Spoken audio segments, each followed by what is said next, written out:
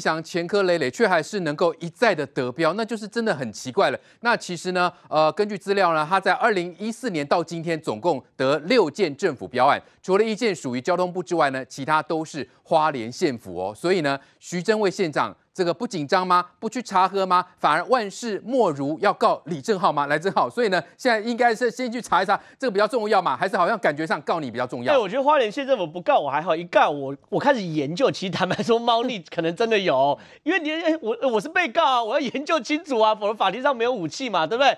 我跟你讲，李义祥是这样子哦。现在大家质疑是李义祥劣迹斑斑吧？二零一八年八月被一审判决有罪，为什么他还可以到处接案子？他为什么没有被列为黑名单？他列为黑名单的话，今天这个案子没有李义祥哦，没有李义祥就没有偷施工，没有偷施工就没有今天的悲剧。这很关键。结果呢？花莲县政府怎么甩锅？他说啊，这个意祥营造今年二月才定罪，如果在诉讼期间就要通报的话，那请工程会明定法条。他言下之意是什么？不用一审、二审有罪都不用通报，我只要三审，不管跟一审最后定验了，我才需要通报，对不对？我一条法条打脸花莲县政府啊，有定有法条啊，有有法条啊，政府采购法一百零一条啊，机关办理采购。发现厂商有下列情形之一，应将其事实理由刊登政府采采购公报。好几个事实理由。第六条，犯八十七条第至第九十二条之罪，经一审判决有罪者。哦，有啦，有法条啦。所以工程会主委昨天才特特别哦，受访的时候说。为什么工程会不知道？很简单，因为花莲县政府没有通报啊。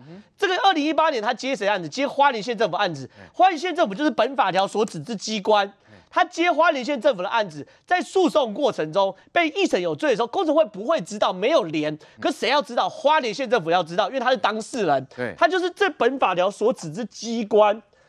一审有罪的时候要通报。所以花莲县政府，你这样法条，你是忘记了还不敢想起来？他们现在是推责任吗？推责任呢？法条明明白白白纸黑字啊！你是忘记还不敢想起来？你怎么可以大大方请公然呢？徐正伟也是出来说，然后发言人秘书长出来说，没有啊，法条没规定啊，定验才要讲啊，二月才定验啊。没有哎，这边一审有罪就要讲哎。那万一有些官司打个五年、十年，那怎么办？二十年怎么办？对对嘛，所以说没法条没有那么愚蠢的嘛，一审有罪就要讲了嘛。所以我我揭穿花莲县这么瞒天大谎嘛，里面有没有猫腻？大家自己来想啊。第二件事情，之前有人在带带风向什么？李义祥是民进党党代表，哦，才接这么多的案子，对，党政无敌。来，我是李义祥专家啦，我要揭露李义祥啦。我之前不是揭露李义祥近五年拿十九个案子吗？对，为什么我故意讲近五年？我就没有故意没有把二零一五拿出来。二零一五年谁执政？国民党执政啦，看清楚了，李义祥标案呐。他人生标案的高峰是二零一五年呐，十二个标案呐，七千万以上。然后呢，民进党你看二零一五年十个，然后民进党执政后二零一六年、一七年、一八年嘛，一路下滑。哦，这样子，好像党政没什么用，一路下滑，一直下滑到最后二零二零年的时候，两千万不到。然后照民进党发言人讲法，一气之下不缴党费了。所以党代表没那么有用嘛，没什么用。就是这种事很清楚嘛，就是你你你如果是官商勾勾结，你党政有用的话，照理来说，哎，到二零一六年执政后应该一路飙升嘛，对不对？应该一路冲一一路飙嘛，对不对？结果没有，二零一五年理想最多，人生标案巅峰八千多万，里面有什么案子呢？有台电的，有交通部的，有国防部的，有花莲 县政府的。这东西是谁在造他？这跟党政有关系吗？所以一开始有人就在带说，哎，他是什么民进党代表，所以才风向。没有嘛，他的人生高峰是马英九执政时期嘛，所以讲这种话是外行。